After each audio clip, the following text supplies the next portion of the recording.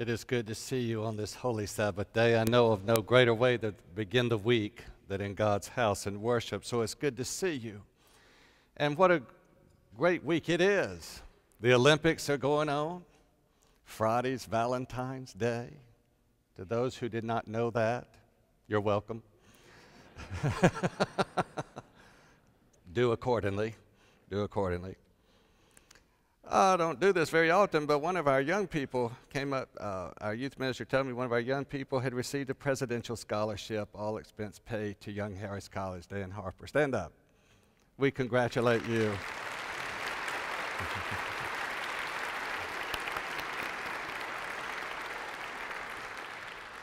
I told him Young Harris is special to me because that's where my dad went for two years. It was just a two year college in those days, and now it's a four year college. Congratulations to all of ours who have gotten some kind of scholarship.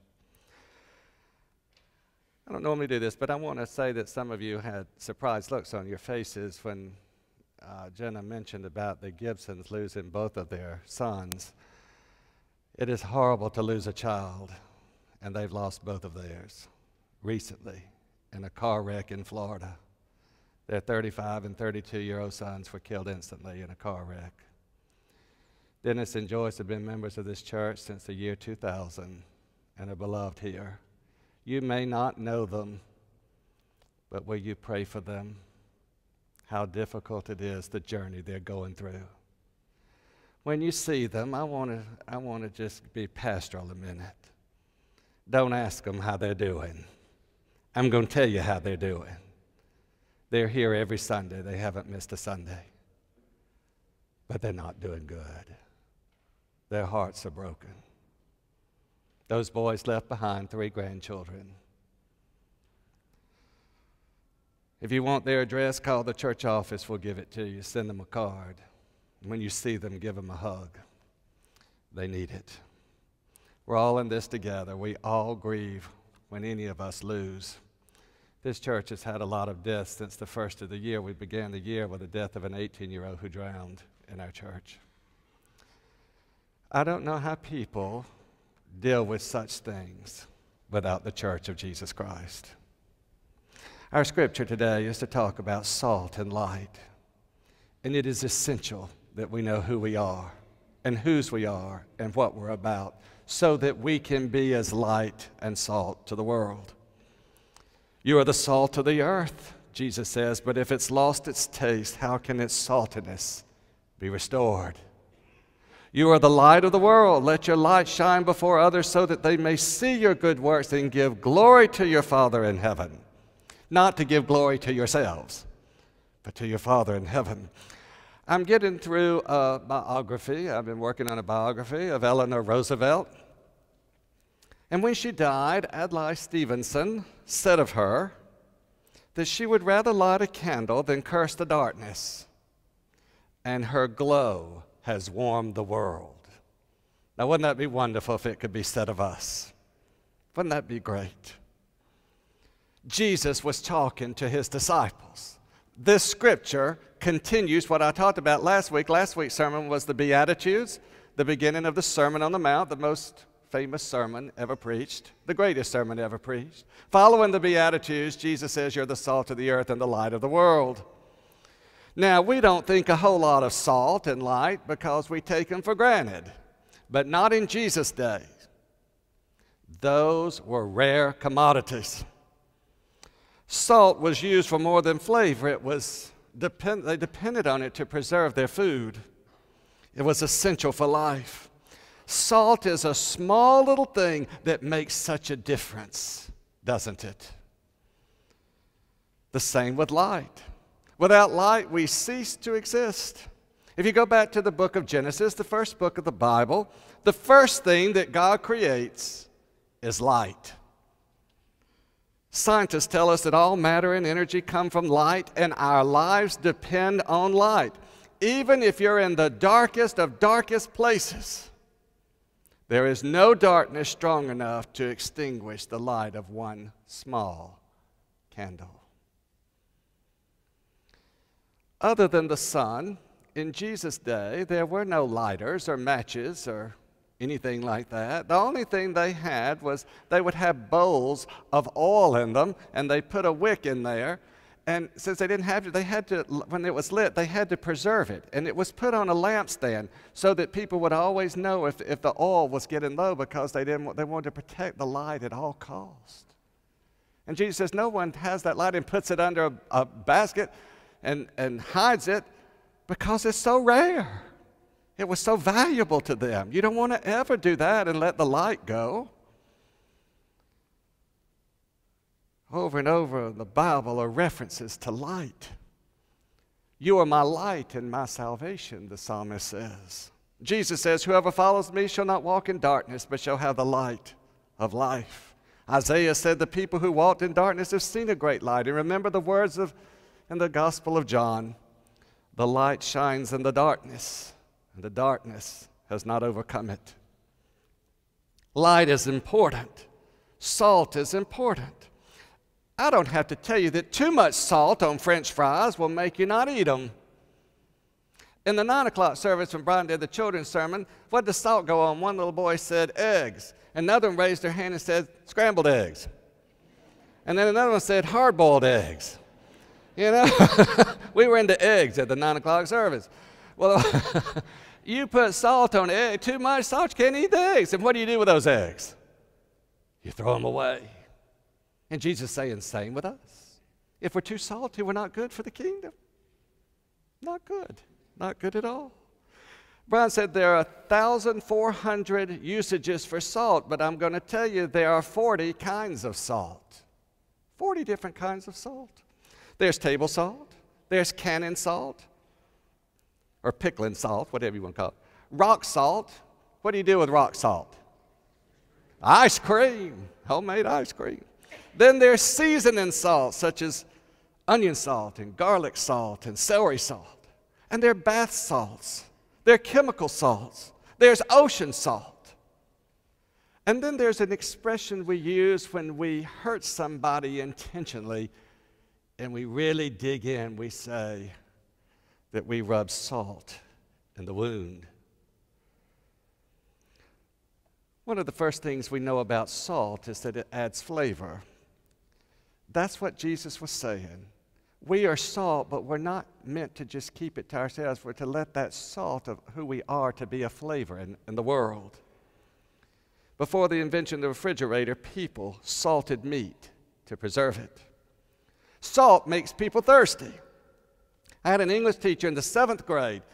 He would say this all the time because he never thought we studied enough or did well enough in his class. And he would say, You're just not studying enough, and I can't make you study any more than I can. You can lead a horse to water, but you can't make him drink. Have you ever heard that? And what's the next part? You put a little salt in his food, maybe he'll come drink. I heard that over and over and over. Now, one of the reasons, now I don't know this personally, that bars put out free peanuts and pretzels is to make people thirsty so they'll buy more drinks. I'm not going to ask for a show of hands, those who know that. Salt and light exist for the difference that they make to other things. You add a little bit of salt to food and it enhances the flavor of the food. You don't want to just taste the salt itself, you want to taste the food and its great flavor. Likewise, light. This morning, at the 9 o'clock service, the light was coming in so strong it was blinding. We don't want blinding light. We want a kind of light, though, that exposes, exposes what's around us. Plato once said, Too many children are afraid of the dark, and adults are afraid of the light. Some people are afraid of the light. They're afraid to be vulnerable. They're afraid they'll be exposed. And heaven help us if people knew who we really were. But my friends, we were made to shine. We were made to shine. Edith Wharton said there are only two ways of spreading light to be the candle or the mirror that reflects it. And she's right. We, as God's people, are to add flavor to the world. We're to shine. We do this individually and as the church. Over lunch today, here's your lunch question. You ready? Discuss who's been the salt and light in your life. How are you the salt and light around you? How is this church salt and light in your life? Now, one of the things you need to know about the Sermon on the Mount is we got to go back in Jesus' day, put ourselves with him where there wasn't all this light and electricity, and, and salt and light were rare commodities. For Jesus to say to the crowd, You are the salt of the earth and the light of the world, is to say, You are of tremendous value. You're of tremendous value. You're rare. You're wonderful. You're of value. For people, for Jesus to say that in our day and time would be like to say to us, You're diamonds and gold. But what do we do with diamonds and gold? We don't have to keep them to ourselves, we want to use them to bring out the best in others. Too many people forget who they are and whose they are. We're God's people and we're of value to God. I was talking to a minister friend of mine who pastors a church in a neighboring community just this week. And we called and, and talked, and I said, Tell me how your church is going. And he said, This has been a very difficult year for us already. We've had three suicides in our church. Three. All adults 50 years of age in that range. Why? Why? You see, it's the purpose of the church to remind not only you and me and all of us, but everybody out here that we're of value. The cross that's on that bell tower up there, the cross that's here, the cross that's here, this beautiful sanctuary, is to remind us all that Jesus gave everything for us, everything that we're forgiven. There's nothing we've done that can't be forgiven. There's always hope, there's always tomorrow. We are loved, we're redeemed, we're of great value. The death of actor Philip Seymour Hoffman this past week has disturbed me greatly. I liked him as an actor, he was an incredible actor. His death at 46 years of age of a heroin overdose has brought to light once again a disease that plagues our nation and the world. Recently, at a Rotary meeting, the chief of police of this city, of Johns Creek, was there. And before the meeting, I went up to him and talked, and I asked him, What's the number one crime in Johns Creek? And without hesitation, he said, Heroin. Did you know that? Did you know that? The number one crime of this city is heroin. Well, what are we doing about it? What are we as God's people doing about that? Does everyone around here know that they're of value to God? That their bodies are the temple of God? That drugs are killing people? They're killing families as well as those who use them? We are not here to judge others. We are here to find those who have lost their way and bring them here. We have three AA meetings here on this campus every week. We have NA. Our job isn't to judge, it's to bring people so that they can be free from, from what is owning them and destroying them so they can be whole. Jesus not only meant to the crowds of that day that you are of value, but he also was saying, do not lose your saltiness. Do not hide the light, for then we'd be of little use in the world. These verses that were read in your hearing this morning are really about Jesus saying to the crowd, You must live differently than the world. Remember, you're salt and light. You don't live just any way you want to live. There are those people who have light, but the spotlight's all on them. All they want is for people to see them. It's look at me, look at me. And there are those people whose very presence is so bitter and poisonous, people don't want to be around them. Now, you know I'm a beach person. I love the beach, and I love to go to the beach. But there's one thing about the beach I don't like, and that is when I've been there for a while and I get to my car, I realize I have to wash it quickly because what will salt do to a car? that ocean breeze, the salt. This past week, I had to take my car to the car wash because of all the salt that was used on the, the roads, of course. You see, too much salt can be damaging and corrosive, make something bitter. And if we lose our distinction from the world's greed, uncaring, self centered, exclusionist, unfaithfulness, and violence, then we have little purpose. We are tasteless, we are useless. Now, there are scholars who have suggested that when Jesus was preaching that, he was thinking maybe about the Essene community. The Essenes moved to Qumran, which is by the Dead Sea.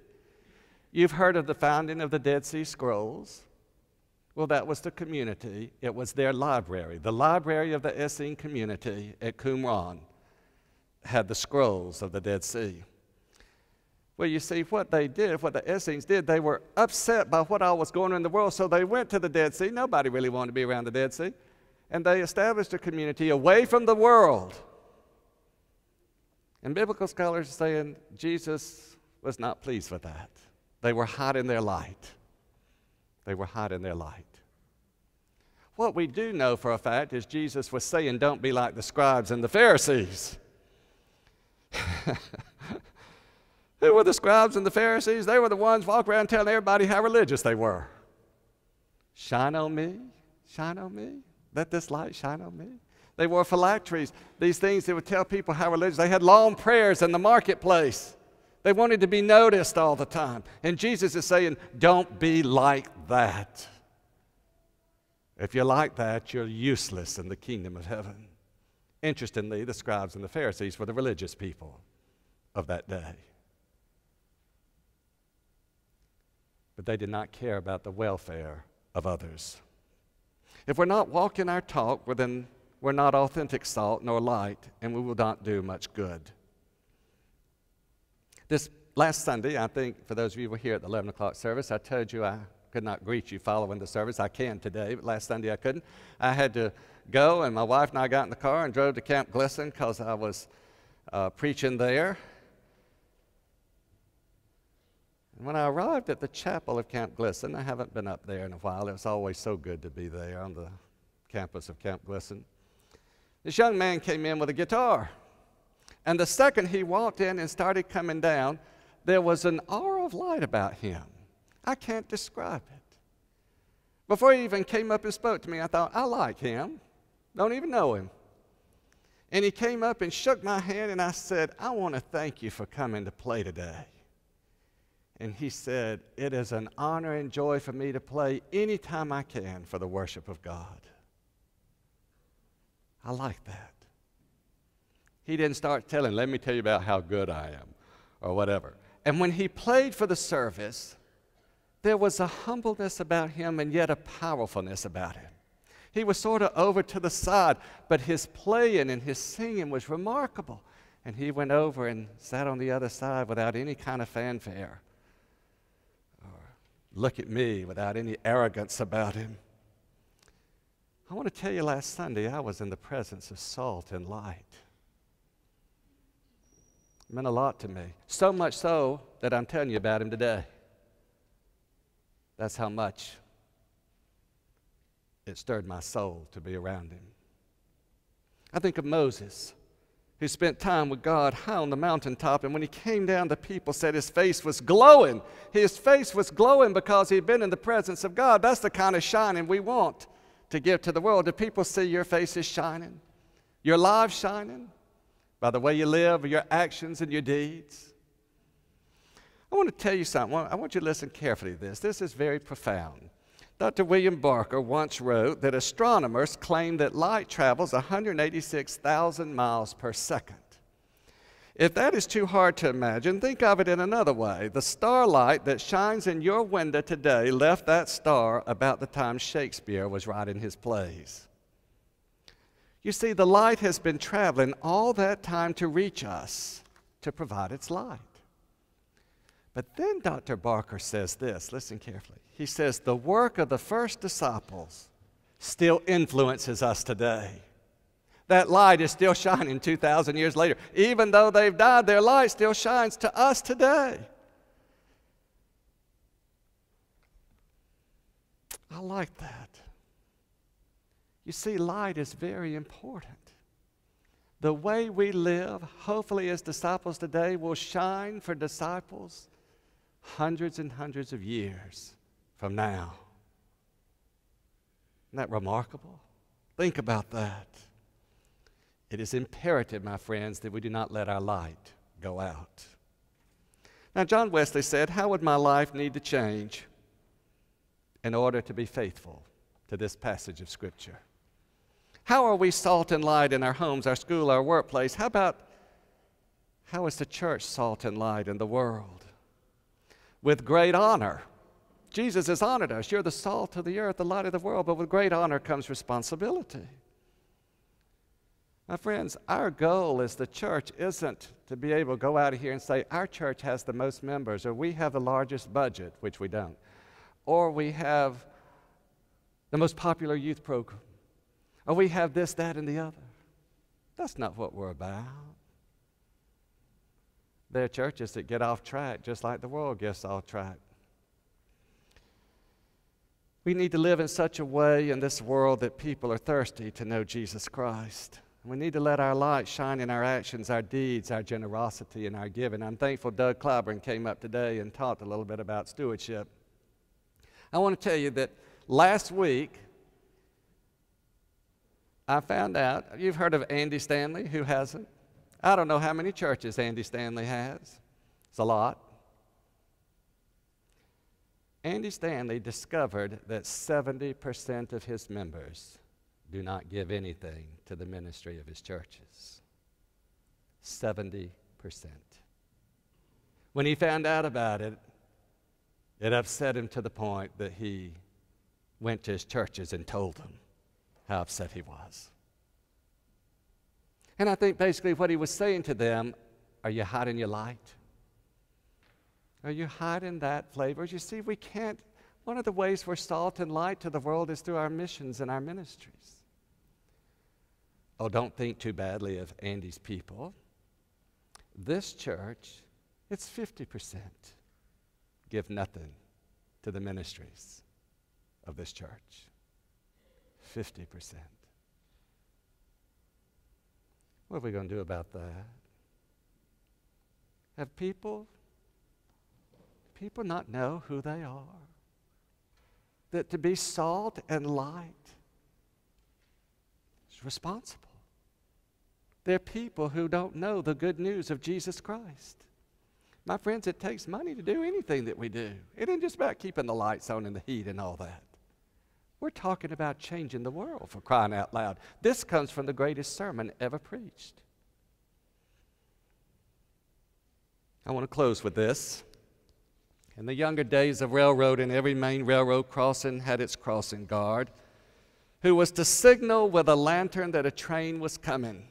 And one night, a crossing guard fell asleep in his little shack, but he woke up and he ran out with his lantern seconds before the train came, but it was too late.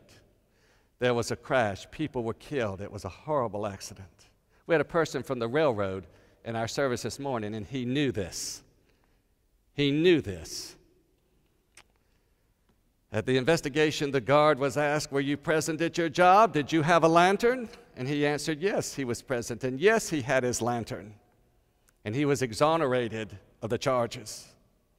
But later he would make his confession No one asked me whether or not my lantern was lit.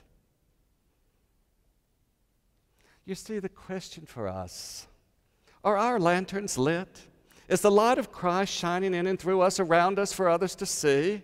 My friends, salt and light are more important than silver and gold. Never take it lightly that we are salt and light of the world. If we do not take it seriously, then we're a little used to the kingdom of God.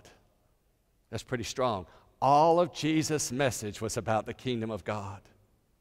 Don't forget who we are and what we're about. May we go forth to be His flavor to all we meet and to shine the light of Christ to all. In the name of the Father, and the Son, and the Holy Spirit, amen.